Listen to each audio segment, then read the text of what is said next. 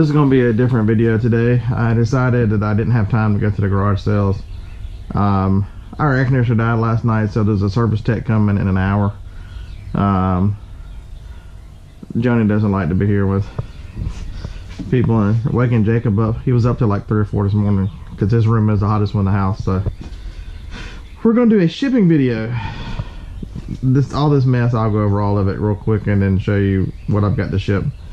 I picked this uh, rechargeable battery up at a Walmart. It's a it's a Hero 4. I have it doesn't fit the 5. Uh, I paid 5 bucks for it. Uh, I got 16.95 shipped. It should go first class. I mean, it weighs nothing, so uh, probably 260. Picked this guy up um, at an estate sale. I think I paid $2 for it.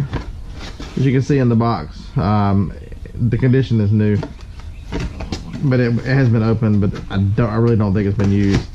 Uh, someone who bought it uh, sent me a message when I when I was shipping it because I was on my little adventures, and it's probably going to go. Uh, that's a good one. I will come back to that one. It should go cubic, but uh, I got thirty dollars for that shipped.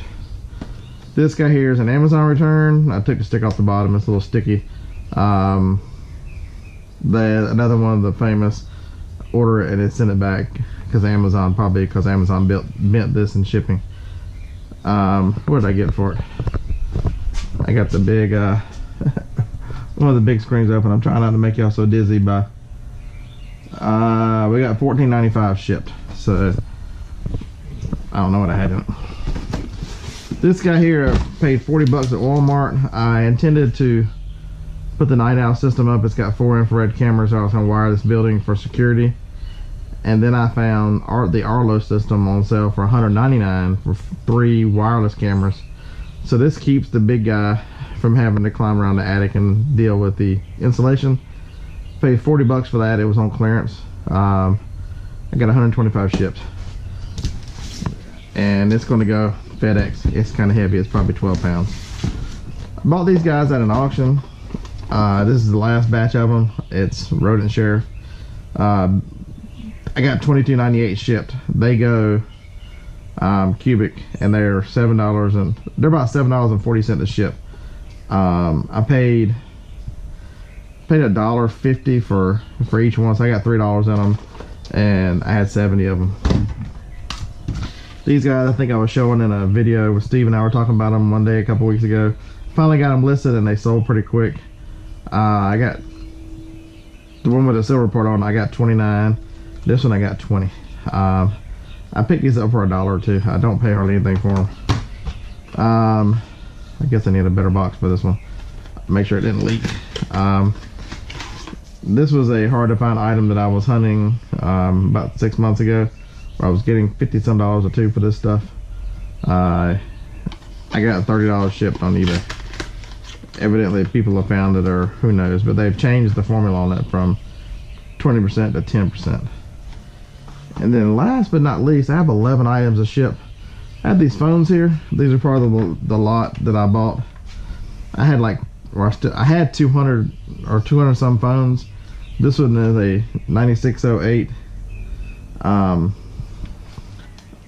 I don't have the stands. With the stands I was getting $29 without the stands I'm getting 19.95 I've got one person who bought one, I've got one person who bought two, and I've got one person who bought six.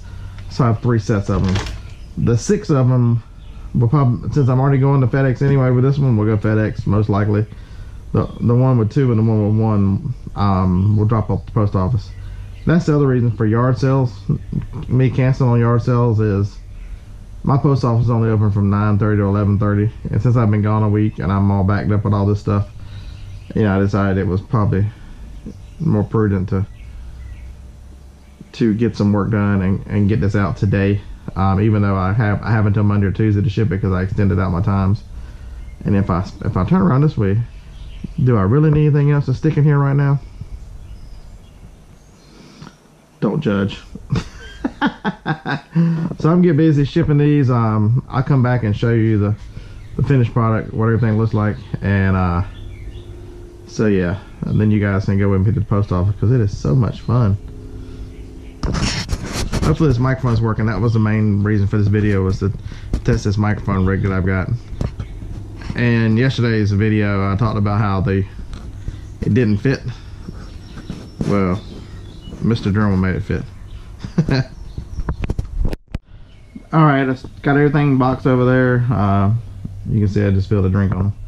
That's all right, they're dry um, for those of you who don't know what this is, I know most people on the channel are pretty old hats to uh, eBay, but if there's someone who hadn't doesn't know what that is, that is a box resizer. Um, basically, it has measurements here on the side. You can, uh, this box is going FedEx, most likely, so the dimensions will will determine that it what it weighs. I mean, what what weight they charge me for the box is generally, and when you have dimensions, um, it's generally they generally charge you more than what's actually in the box. So anyway, um, basically I just put it on the as far down as I want it, tighten it down, and you're gonna score all the walls.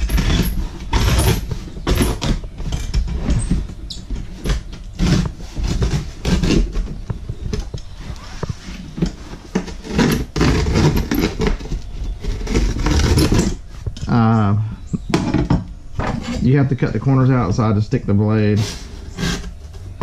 right on the dotted lines. Usually I use a box cutter, but this knife is pretty sharp. It's had all that practice from opening up all the Amazon fails. And then basically all you have is pull it in, pull it in, pull it in. Some people leave it here like this.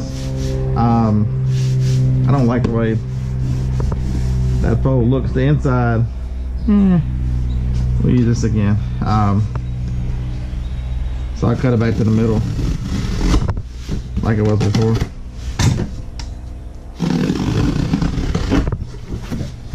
And just fold that out. You'll you'll watch uh, a lot of people who ship. Everybody has their own shipping method. Um, so that's it. That makes the fold right there, um, just like it was before. Because when they overlap, these have a tendency to push up, which I don't like. Um, so, but I leave these in here just any more in the box. Um, strength is better. So we will grab a roll of uh, whatever this is, newspaper.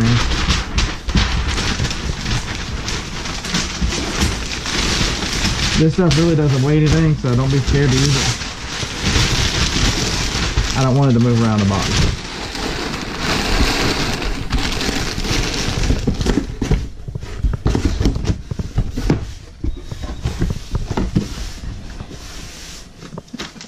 And I am a big proponent of three inch tape.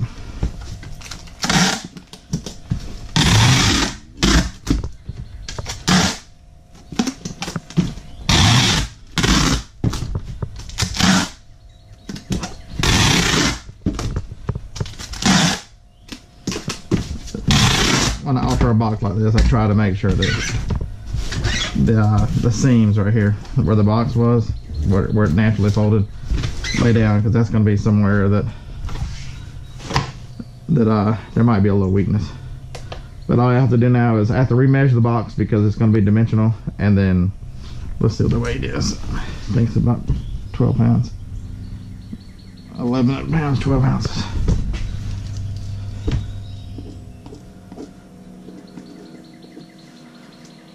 I always add a couple ounces. Uh, when you're doing USPS or anything, there's it's 11 pounds. It's 11 pounds to 12 pounds, so it doesn't matter if it's 12 ounces or 14 ounces.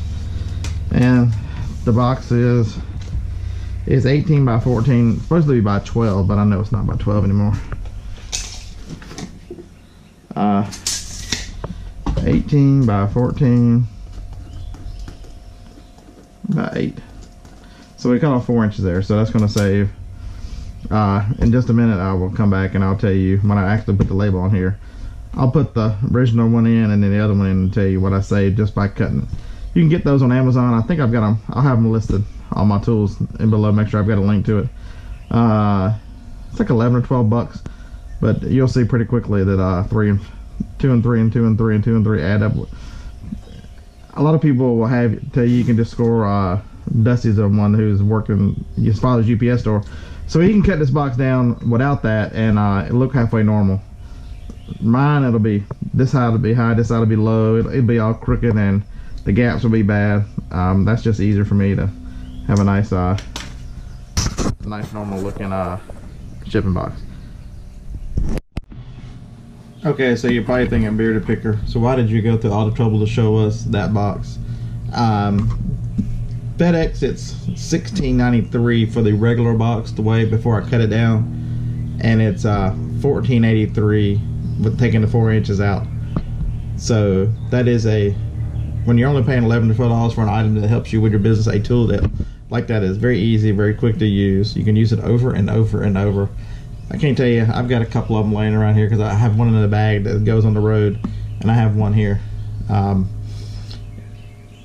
it's it's just a countless amounts of money. It's like using pirate ship or anything else. The best, you know, the best anything you can do to save the couple extra dollars, that's money that goes directly to your bottom line. So um, it's important that that the boxes, when they get that large, they become um, uh, whatever the hell it's called. The chart dimensional dimensional weighting is what takes over, especially with UPS and I'm sorry, yeah, UPS and FedEx. So hope that taught some. Most of you people who uh, who know all this stuff are just ignoring me right now. I'm just reaffirming what you already know, but uh, to folks that are newer sellers, uh, it makes a huge difference. So uh, save every bit you can. Uh, do what's right by your business. The one thing I should mention is uh, priority mail on that going to Texas here from Alabama on that package was sixteen dollars and ten cents. Um, let's see what let's see what pirate ship is. Pirate ship. Yar log me in. Ahoy, Captain. Let's see if we save a little bit of money on. It's it's too big for dimensional. I can go ahead and tell you that right now. Really. It's taking a sweet time to log in. I should have been more prepared than this. Normally pirate ship's pretty quick log in. I must have told me too many people about it. Now they're uh, now they're backed up.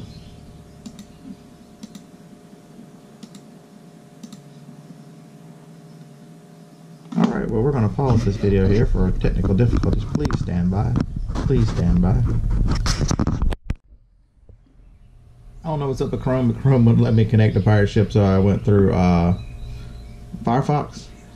Um, it is fifteen dollars and sixty two cents, so it's about a dollar cheaper, and it's a it's a um, it's a dollar more than than FedEx, but I'm paying with my debit card, so I'll get one percent back. So that's another what fifteen cents off. Um, so I would not drive my my uh, FedEx is all the way in town. It's probably 12, 14 miles at one way. So you know it's a 25 mile trip. So what do I spend in gas on that, or do I pay the by the time it comes out, it's it's less than a dollar to let take it to my post office with all the rest of this stuff. So sometimes you just have to choose what's best for you. Um, paying an extra dollar or two or three or four on for priority shipping over a ground rate, you save money in the long run. You know what? There's one commodity in this world you can't get back, and that is time. And uh, it is it is valuable, so treat it that way. I forgot to put the microphone back on because I'm testing this microphone today. So I'm gonna get all my shipping done, and then uh, I'll I'll keep track of it. I'll let you know how many I use pirate ship and how many I use regular, and we'll see what happens. So the the air conditioner guy just left. I would warn everybody who's watching this video: do not buy a Nest thermostat. Ours has been in 13 months thank goodness it has a two-year warranty. It's going back to Costco. Um, the technician, nice guy, young guy, he said uh, in the last couple years he's seen nine to ten of these Nest thermostats fail, uh, short out. When Johnny was saying last night, I was sitting out here in my air conditioned office, and she said, "I got a text. It's hot in here. This stupid thing is blowing heat." I'm like, "Man, you're crazy. It's blowing hot air. You're crazy." Okay, she wasn't crazy. So the the thermostat was calling for heat in air conditioning mode. Um, the back panel um, evidently had shorted out. Um, so he was able to temporarily fix it by jumping out the uh, the cold gas valve or something, whatever you call it. Anyway, I, I, can undo it once I go buy another thermostat. This one, they do have a two-year warranty, so it's going back to Costco, and I'll get another one. But uh, I wish I'd have known this and how bad they were. I never would have bought one. There's other brands, Ecobee and others that you can use. Uh, I would avoid the Nest. Um, so all the shipping is done. I even had a person. that was a good one. I'm just gonna leave that in there because that's what I do. Um, all the shipping's done. Someone bought a calculator of the 12C that I showed in the video a couple weekends ago. I got, I paid two dollars for it. Got twenty four ninety five shipped. So uh, that was cheap. It's three dollars to ship it. So it's already in a box, and it's I actually have to go to FedEx because the six phones ended up uh, USPS price was twenty three forty five, and FedEx was like ten dollars eighty cents or eleven dollars. So uh, for the ten or eleven dollars, I will go ahead and drive to the FedEx place. Um, it happens to be on the same road Costco's on, so might as well go get another thermostat. All right, thanks for playing. Um, I'll leave this video open in case there. Uh, in case there's other interesting things that happen in the world of, of selling today. Uh, maybe I'll sell a few more things and I'll show you if I if I sell anything else. Um, do the YouTube stuff. Right. Bearded picker. Maybe out, maybe not. Depends on the day. It's awful early to be calling this a day at 9.49 in the AM. So you ever think uh, fate or the world's ever trying to tell you something? So uh, trying to leave my driveway, right? And there's this old couple uh, who had pulled into the driveway. They were looking around. They backed up out, and then he parked the car, got up, started walking down the driveway. And I, I was putting the boxes in the van, and I'm like, "Hey, how are you? What can I do for you?" He said, uh, "Do you know where the yard sale is around here?" I'm like, "No, sir. Community yard sale was a couple weeks ago. It's probably an old sign." I was going to the yard sales and then I realized I had too much work to do, so I didn't go, but there's not one in this neighborhood today. He's like, oh, okay, well, thanks a lot for your help. Maybe that was somebody telling me I was supposed to go to the yard sales today. Maybe that that wonderful treasure that I was so desiring and not knowing I was desiring was out there. It's just strange that when you make a decision, always something crazy happens like that. Such is life for the bearded picker. Nobody else will find it interesting but you guys, so I appreciate y'all uh, finding my quirky sense of humor uh, halfway entertaining. FedEx trip is done. Um, just dropped off the one package. All the shipping's done. I'm gonna go back and start straightening up, but I have to go correct another mistake. So uh, I grabbed the biscuit, um, and it's right beside the car wash out in Meridianville. So I'm like, man, this van has gone through hell the last. I don't think I even washed it when I got back from California. It was so bad. So I uh, decided I'd run it to the car wash, and then they have free vacuums. You know, I've got enough food particles and piece of paper and everything else under the sun stuck. This is going to be an aggressive move right here. Stuck uh, under the, under floorboards and everywhere else that uh, Y'all hear the racing van go? That's awesome, man. Did I even use the free vacuums? Well, I just got back in the van and realized I left the freaking floor mat to the driver's side, uh, laying on the ground at the car wash. So hopefully somebody turned that in. Somebody was nice enough to uh, say, hey, there's some DA who can't put his own floor mats back in his van. So, um, yeah, so I'm heading back to the car wash now to it's been one of them days. The air conditioner guy that was four hundred and sixty-seven dollars because four pounds of freon in the unit, plus the hundred and fifty-eight dollar service call. That was awesome. What a way to start Saturday. I probably should have gone to yard sales trying to make some money. But let's do the other side of that. Let's go home, clean up, straighten up that hellacious garage, and then do some listening the rest of the afternoon what are your plans for Saturday of Mother's Day weekend? uh, enjoy some time uh, with your mom. Uh, time is short, so one thing you can't get back. So uh, I'm just wasting it because I'm going back to the car wash. So here is said air conditioner that caused all the issues yesterday and all the money. You can see on the top of it, um, we had a hackberry tree. We actually had three of them um, along the driveway, and they that's what's turned all this crazy crap black. It's a, it's real sticky. Um, you can look on top of the blue van. There's a lot of the same thing on top of the blue van. Um, Hackberry trees are no longer in existence here on the driveway because I cut them suckers down. But the one thing you can do on the air conditioner is just as a this is a helpful tip. Uh, if yours has the coils outside like this one does, the coils on this thing were, I'm sure they were black and they were, everything was, it just makes it much harder for the air to come across and it works the air conditioner harder. So it's probably contributed to the leak, to the leak of the Freon, making the pressure go up on this crazy thing to operate correctly. Get you a can of, let's go back to the building. I've got one more can. Um, I bought these at a yard sale, I don't know, two, three weeks ago. Um, still looks about the same in here. Um, you can't tell that I actually cleaned off the table and brought stuff back out. But I did. Um, this stuff here is called coil cleaner basically uh, it's almost like my air conditioner sitting down on the front of it basically all you do is take a um, shake it up real good spray it on there let it sit for five to ten minutes and then you just rinse it off. Um, it works on the smaller air conditioners too. Rinse it off with a water hose and then but the power's got to be off and then let it dry. So then I, I let it sit for like 15 minutes and then I turn it back on and between adding the freon and uh, all the other stuff it is working great. Um, I'm not I'm doing this without a mount so sorry. It's uh it's working great so I recommend that uh that's something you can do to help make your air conditioner run easier better easier on a power bill when it doesn't have to work as hard to cool your house down.